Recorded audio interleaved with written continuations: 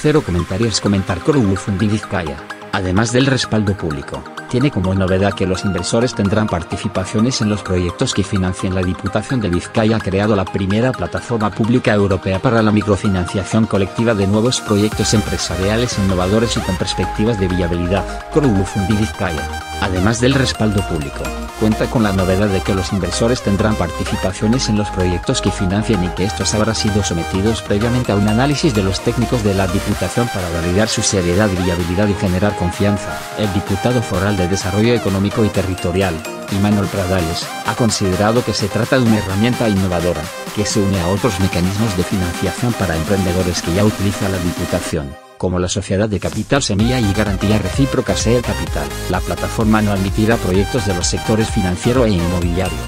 No habrá proyectos especulativos, solo proyectos de verdad, ha dicho Pradales. Además, las empresas a financiar deberán estar radicadas en Vizcaya, por lo que la Diputación ha invitado a promotores de otros territorios a trasladar su sede a Vizcaya donde recibirán el acompañamiento del gobierno foral en el proceso. Las ventajas de esta plataforma para los emprendedores son, según la Diputación, una comisión muy pequeñita del 1% si la iniciativa tiene éxito lo normal es una comisión del 4 o 5%, el asesoramiento de la Diputación y el mantenimiento de todos los derechos de autor y de propiedad. Los inversores no profesionales, como establece la CNLV, podrán dedicar un máximo de 3.000 euros a un proyecto y el tope anual que puede destinar a microfinanciación está en 10.000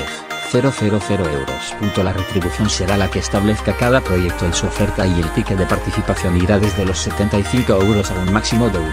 1.000 y lo fijará cada empresa. Las rondas de presentación en la plataforma durarán 50 días y comenzarán el 15 de marzo con tres iniciativas que ya están en funcionamiento, una empresa de estudios de mercado por Internet otra que elabora un nuevo método de diagnóstico de la esclerosis múltiple y un proyecto para el fomento de valores desde el deporte base. La Diputación confía en acoger en esta plataforma unos 15 proyectos anuales y reunir unos 400 000 euros de financiación, aunque habrá que esperar al primer año de funcionamiento para hacer una estimación más certera. Te puede interesar relacionados País Vasco Empresas Economía Noticias relacionadas La patronal de Vizcaya pide que el excedente fiscal se dedique a inversiones y compras educación, inserción laboral, medio ambiente e investigación vertebran la RSC de las aseguradoras La Bienal de Máquina Herramienta quiere ser la más ambiciosa de última década en oferta tecnológica